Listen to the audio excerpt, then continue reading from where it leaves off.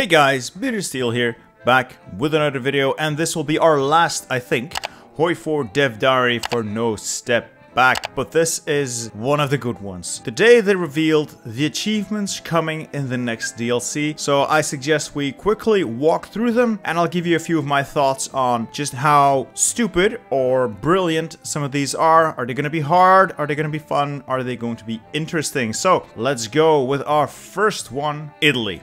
At least they run on time, as fascist Italy have max level railways in all your core states. This is gonna be one of those ridiculously easy ones, like building max infrastructure somewhere, so this is just for the meme. It's, it's, it's nothing special. It's cool. I mean, somebody thought of this. It's nice to have. It's not going to be difficult. It's just another check mark to get when you want to get 100% achievements. Next up, not much fun in Stalingrad, as Germany capitulate the Soviet Union without taking Stalingrad. Now, this isn't difficult per se, not if you use three collaboration governments, uh, but Stalingrad is a lot of victory points. It means you are going to have to push towards the Urals, and Stalingrad is probably going to be a local supply hub, which means you will have to somewhat handicap yourself in terms of your supply to make this happen. You'll probably need to build railways around Stalingrad to bypass it, but it's a nice little challenge. Why not? It's a different way of playing the game, I guess. on the other hand, it is it is just purposefully making your life more difficult than it needs to be. But hey, that's what achievements are for. No more partitions as Poland. Be independent and ensure that both Germany and the USSR are either in your faction or don't exist. Now this is one I am looking forward to. You will be the Chad Poland.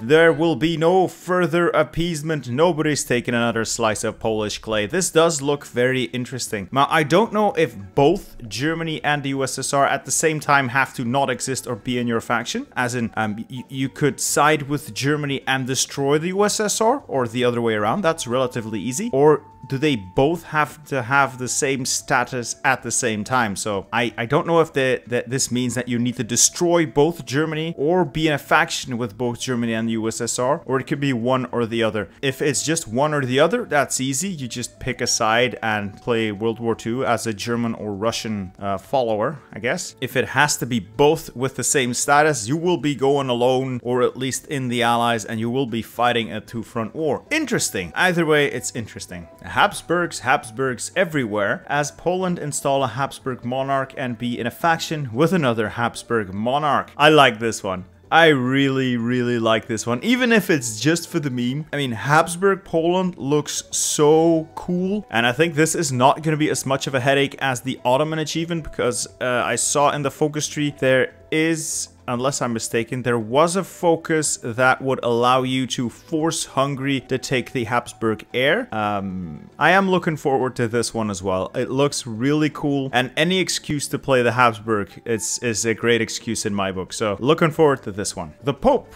how many divisions does he have? As the USSR take Rome. Eh, it's not that difficult. It's just gonna be a bit of a nuisance trying to first take out Italy, or at least naval land in Italy, before you take out Germany as uh, the Soviets. Eh, it's gonna be a bit of a bit of a bitch pushing through the Balkans first or trying to get a naval invasion off. All in all, not that difficult. Like I said, it's it's much like the Stalingrad one. It's making things needlessly complicated, but it's a nice challenge. It's a nice challenge. This is going to be lit as Lithuania hold the capitals of all your neighbors. That's actually a little more difficult than it sounds because I think Lithuania borders Germany, they border Poland, and they border... It's not Estonia, it's Latvia, isn't it? Yes, Latvia. So Latvia is easy. Poland's probably okay if you know what you're doing, but Germany's gonna be a bitch if you're gonna have to take Berlin. So another big challenge because Lithuania probably not that strong early game, so this is gonna be a long play. Next up, it has my name on it, as any Baltic state conquer the entire shoreline of the Baltic Sea. Again, like the previous one, this is much more difficult than it sounds, because you will be going up against Germany, your Baltic cousins, which isn't that much of a problem, Poland,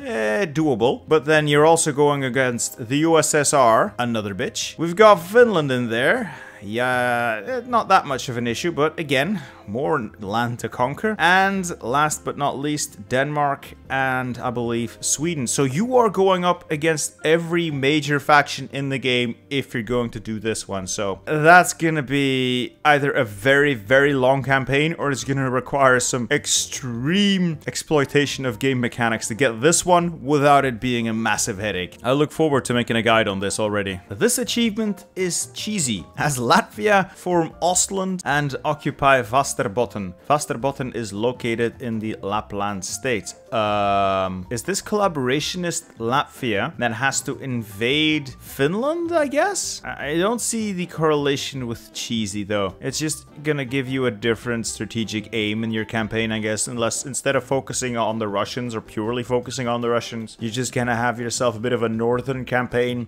draw Finland into the fray and move from there. I don't think it's gonna be that difficult, but we'll see. Esti is Scandi as Estonia secure Scandinavia. Every state in Scandinavia needs to be controlled by Estonia or a subject of Estonia. Yeah, that's gonna be a tall order. I haven't really checked out the Estonian focus tree. I saw it was pretty cool, but I don't know just how much stronger Estonia can get if it's gonna go up against everything in Scandinavia on its own. It's gonna be facing off against the allies. I suppose if you side with Germany, all things are possible, but then again, you need to be in control of those states, and Germany tends to invade Norway and Denmark, so I'm not sure this is gonna be easy, but once again, I look forward to making a guide on this one. Not a step back, as the Soviet Union never lose one core territory to anyone before 1945. So this is that Romanian achievement all over again, except this time you don't have a great defensive line that you can sit behind. There are no major rivers. You are going to park your army on the borders of your core territory and you will endure an onslaught and they will come for you with a vengeance. This is going to be a tough one. This is going to require you to min-max your economy to pump out the greatest army the world has ever seen or to simply try and avoid war without losing core territory. I don't think you're going to be able to do that. To be honest, unless you play very, very aggressive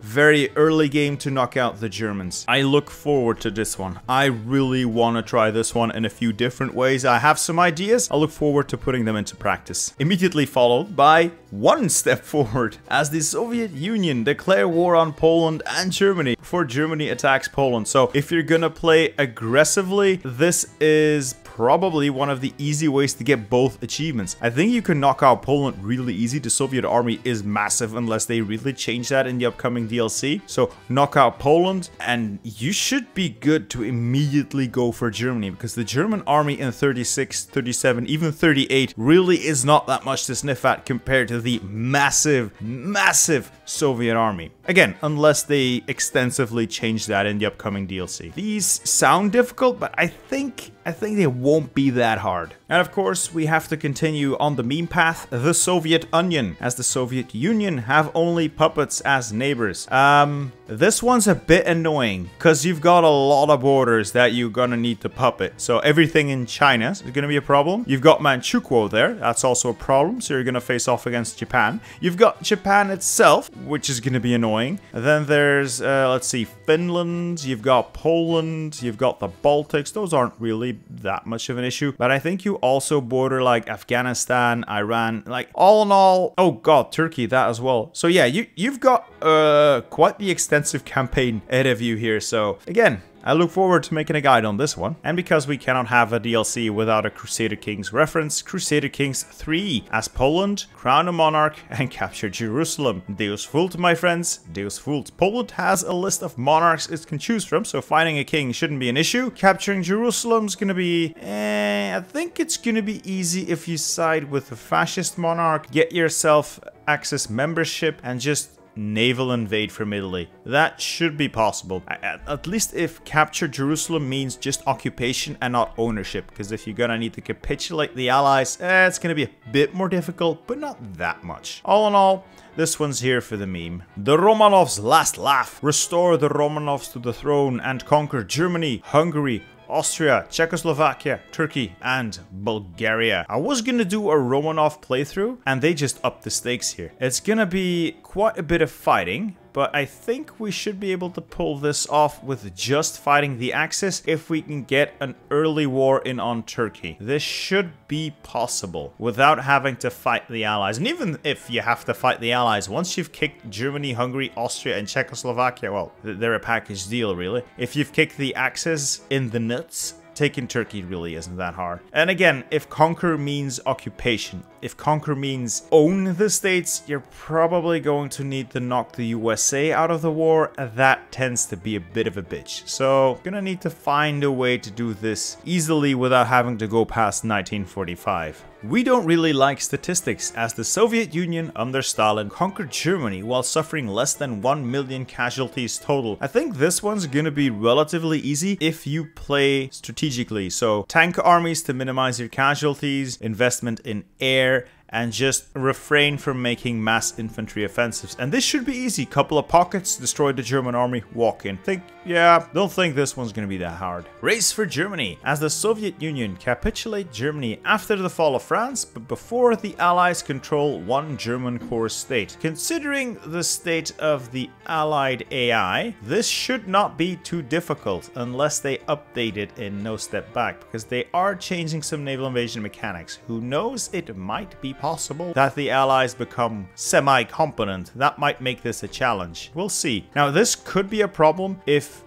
the Allies are still able to do those cheesy naval landings around Hamburg. Because if that happens, I mean, one naval landing there, Germany not defending its coast, something you have no control over, that would screw you over. And I don't like RNG, so we'll, we'll have to see how this one plays out. Siberian Tiger, as Tannu Tuva forms Siberia. I have to try this one. I absolutely have to try this one. I don't I, I have no idea how to pull this one off. It's gonna require a ton of cheese, I bet. Abuse factions, abuse peace deals, but I wanna try this one. Just a propaganda as the Soviet Union activate 30 propaganda campaigns before 1945. That mostly sounds like a massive political power sink and something you just need to pay attention to while you're playing a regular game. Don't think it's too difficult. Should be able to pick that up if you pay a little bit of attention to the mechanic. Around Eurasia in 80 days, have a railroad from Gibraltar to Singapore. Now the railroad's not the problem.